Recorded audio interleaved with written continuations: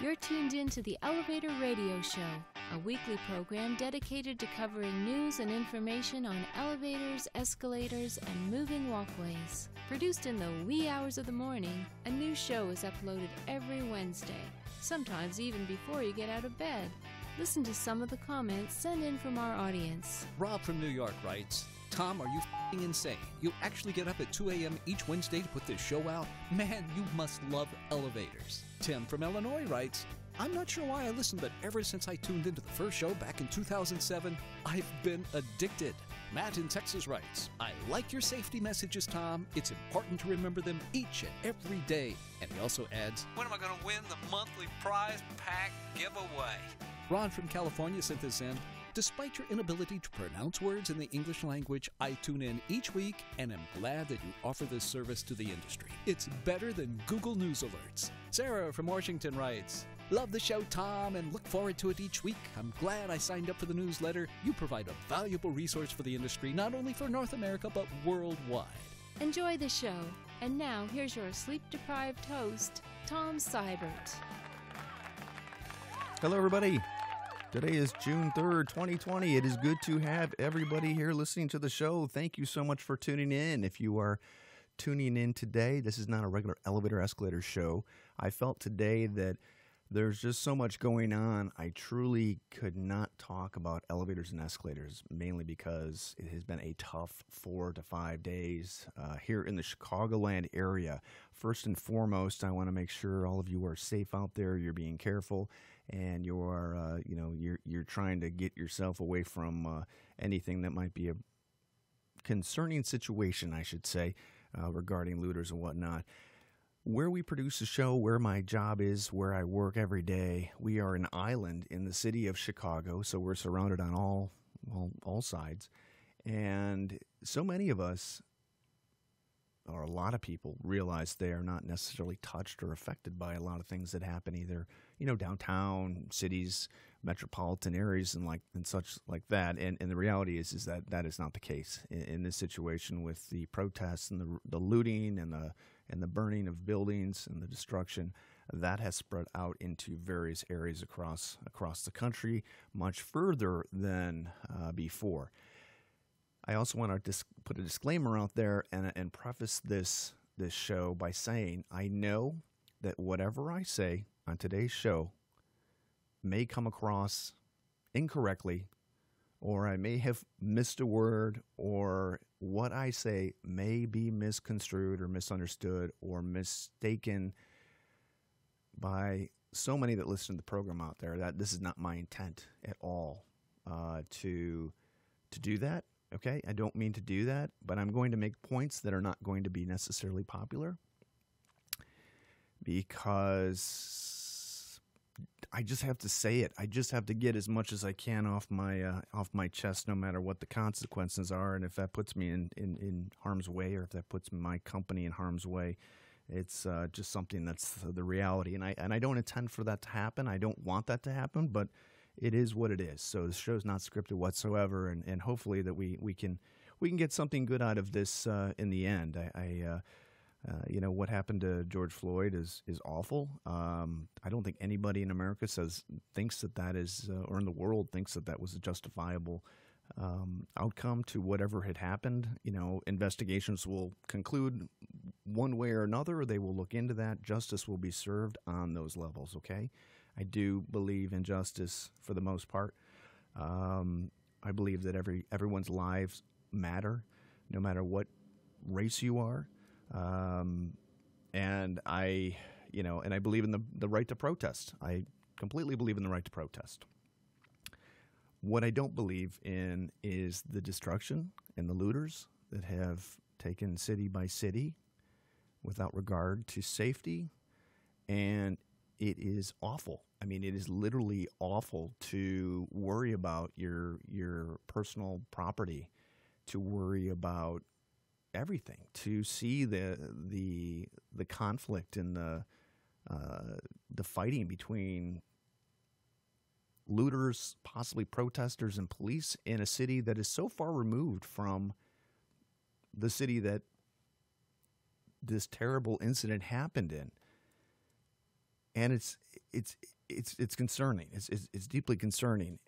I don't see an answer in sight. I don't see an end. I don't know what is going to fix this, and it's just truly a, a scary time. I think for our country, and I I don't know again what is going to fix it. I can tell you this: if I am in my building or my home, and it is broken into, I will do everything in my power to protect myself and my family and my coworkers against any injury or harm to them.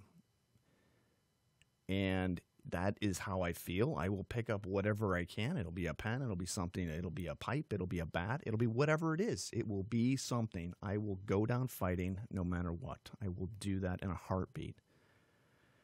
What got me concerned about this, so many of us live in, in parts of the country where you know, you see things on the news and you're like, oh, yeah, you know, that's going on downtown or, you know, it's far away from where I live. The reality is, is that in this, this whole thing, this, you know, escalation has reached much further out than most people even realize. When you have a CVS or Walgreens just you know a couple blocks away getting looted, and a T-Mobile store, and a, you've got a, a mall. When that's happening, and it's like right in your backyard, you start to think like, man, this is this is really happening. You know, this is going to affect me. I got to start thinking about how I can protect my employees. I got to start thinking about how I can make sure the buildings are are more secure on on you know, have that have that uh, put the cameras up and stuff like that. That's something that we had I had already done once the COVID nineteen crisis had, had occurred. Is that within four days I had the building more secure. I had cameras in place. I had I had set up a text system to contact and a call system, automated robocall kind of thing for our company, so that I could get information to our employees as quickly as I possibly could if there was some type of issue that we had to had to uh, to deal with, and I used that for the for the second time on Sunday night. Um, but it's it's like you, in my mind, I start thinking long term, and I'm like, man, when like at what point does it all just somewhat fix itself? And I just don't see that happening, and, I, and it, it's deeply concerning, and I and I, I wish I had a better answer for that. So. Um, and only time will tell. I want to say that I, I support our first responders. I, I support our police. I support our fire our fire department. I support our uh, emergency ambulance workers. I, I support them hundred percent, hundred percent of the day. You know, uh, and I and I'm I'll do that till I die. I've got family. I got friends who are in who serve communities across the country, who have one of the probably the, the most some one of the diff- most difficult jobs in our country who are, I think, for the most part, handling themselves pretty well. In the protest photos and videos that I've seen, you're always going to have, you know, other types of videos that show a different story. But as I say, you, you truly have to take a step back and try to figure out what may cause may have caused that altercation. You know, was it somebody, give, you know, was it somebody giving somebody the finger? Was it, you know, just, just, just who knows? There, there's always more to a story than what the end, end result is. And um, so, give you a little bit of history just on the last three, four days here at work uh, and at home. I've been going to my parents' house to help, uh, you know, cook. Well, just cook dinner every every night for them, just to get some uh, nourishment in in them. My mom's feeling better, but still not hundred percent. Uh, this has been a long process. So Sunday night, my my wife and I uh, were over there. We had dinner. Started leaving. You know, left probably about seven o'clock, maybe six thirty. I don't even know. Around that time, got on the expressway. Realized that all the exits were closed going north on the on the Edens uh, Expressway. At that point, it was like, what the hell's going on? You know, I mean, you just it's almost like the news can't keep up with everything that's going on to the point where you're like, well, geez, there's, you know, they got all the exits blocked, you know, in terms of going to malls and stuff like that. So you start thinking, you're like, wow, I'm like, this is not good.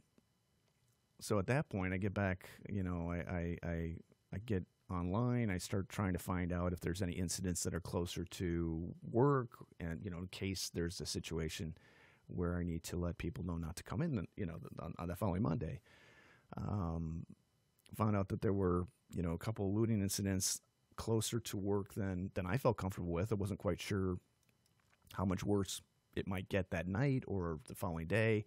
Sent a text message out to entire team, letting them know that hey, listen, tomorrow's closed. I'm, you know, I went into the office, made sure everything was okay, uh, worked a whole day, and let everybody just stay home, just kind of collect their thoughts and uh, be safe with their family. The scary part was that left spent the whole day basically at work working. I was working, only one here, um, and listening to the scanner, police scanner, just trying to get it, get a hold, get a handle on, on really what was going on in the area, just just to make a better decision on what Tuesday would look like, whether people are going to come back to work or not, whether we're going to, you know, what we're going to do, what steps we're going to take to ensure safety of our of our team. And uh, what, what was going on on Monday was was truly frightening and gave me a new perspective on just what police have to deal with in the field. It's hard. It is extremely hard. The amount of respect I have for police officers is immense. And if if you know what, if somebody's going to throw a, a brick through my window or burn my building down, go for it. I stand by that 100%. And if you are a coward enough to do that, go, you know, do what you got to do. I don't care. I don't care um, because the protest, the protest, I completely, I don't, I, the right to protest is everybody's right. The right to to pillage, to loot, to burn is not okay. There's no place for that here whatsoever. Um, so anyway, so between like Monday, which was a pretty rough day as it as it relates to you know, scanner police activity stuff like that, gave me a pretty good perspective on uh, you know possible incidents that uh, may move further north. You know, received a whole bunch of emails and you know people saying, "Hey, they're going to burn down the north side of Chicago and then the suburbs," and I'm like, "Man, you know, it's a, it, it, it's for the most part, what are you what are you going to believe? You know, I mean, you got stupid Facebook posters with these stupid crap that." You know but at the same time it, it spreads hatred it spreads racism racism and who knows who's posting it but the reality is is you look at people differently when you're in a mariano's or a, a grocery store or a or wherever you're at. You do look you you start looking at people who might be suspicious with a mask on and and at the end of the day it's very unsettling to be in some stores or to be out and about um, or what you see on the street with vans and whatever. So it's truly a sad time when what is a, the destruction that's occurring is literally overshadowing what the protesters are protesting for.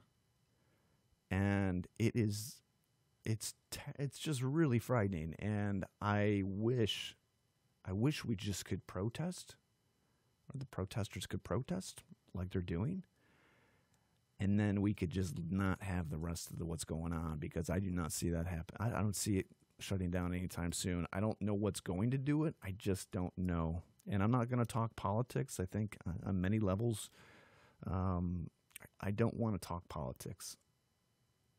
I believe that, you know, I don't think, I, I believe that our government officials are truly out of touch. And I'm not talking, I'm talking federal. I'm talking, I'm talking statewide.